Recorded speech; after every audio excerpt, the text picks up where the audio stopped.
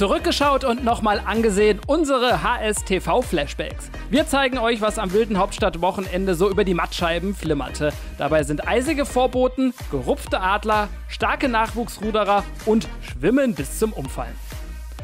Grenzenloser Jubel bei den Hauptstadtrebellen. Im Derby legten die Charlottenburger eine fette Performance hin und besiegten die Adler Berlin mit 55 zu 7. Ackern für den großen Traum. Nach den Hauptstadtsportlern, die in Rio um Medaillen kämpften, möchten nun zwei weitere Ruderer auf die große internationale Bühne. Wir zeigen euch wer. Schwimmen, bis der Arzt kommt und das satte 3,5 Kilometer. Beim Müggelsee schwimmen stürzten sich tollkühne Schwimmer in die Wellen des Köpenicker Gewässers. Und Eis, Eis, Baby. Beim Hobo G Cup testeten die USC Ice Ladies traditionell für die kommende Saison. Der Gegner kein geringerer als der dänische Meister vom Fidofre Eishockey Club.